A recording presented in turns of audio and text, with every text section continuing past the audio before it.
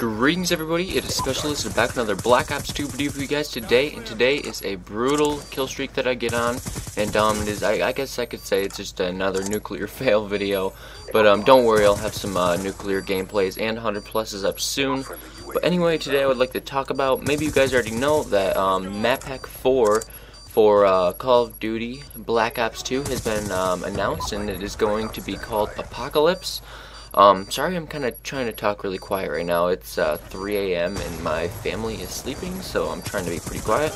But anyway, on this map pack, well, just to say first that this map pack is supposed to come out August 27th, so uh, I'm pretty excited. Um, the four maps are uh, Frost, Pod, Takeoff, and Dig. And um, Frost is a snowy map in uh, Europe, and then there's going to be some bridge that separates the middle. I don't know, kind of, I don't know. Just another snowy map like they usually put in. And then Pod is supposed to be a utopian community in Taiwan, which I'm I'm kind of confused because I don't know like what they're meaning by the term pod. I guess maybe like pods from like Gears of War or something where they crash down through the ceiling and stuff because that's what it kind of says. It's almost like an abandoned um, an abandoned uh, community where there's these pods everywhere and you have to maneuver around and stuff. I don't know. But um, the next one is Takeoff, and it's um, a launch site in the middle of the Pacific Ocean that is supposed to be a stadium, and which it actually is. I saw the um, trailer today. It is a remake of Stadium, so I'm pretty excited for that.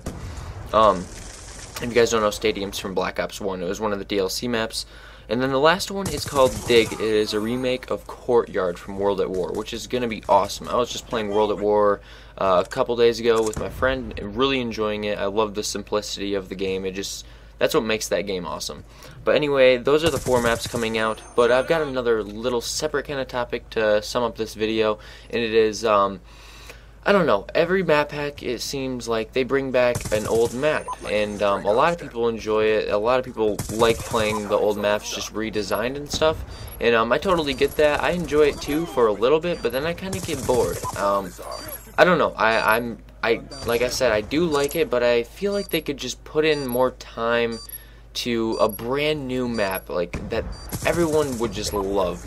Like some type of modern warfare 2 map because everybody loved the maps from modern warfare 2 i don't know but if they just didn't redo any maps i'd be totally fine with it. I'm not saying it's a bad thing but i feel like they could just put more time into a couple more maps instead of bringing um, old maps back and just kind of redesigning them and making the textures look better.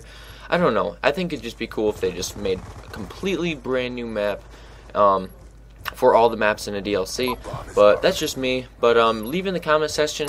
Eh, wow, see, I'm always stumbling my words. But leave in the comment section um, if you guys totally agree with me or if maybe you guys don't. But anyway, if you enjoyed the gameplay, make sure to slap the like button, subscribe, and I'll see you guys later.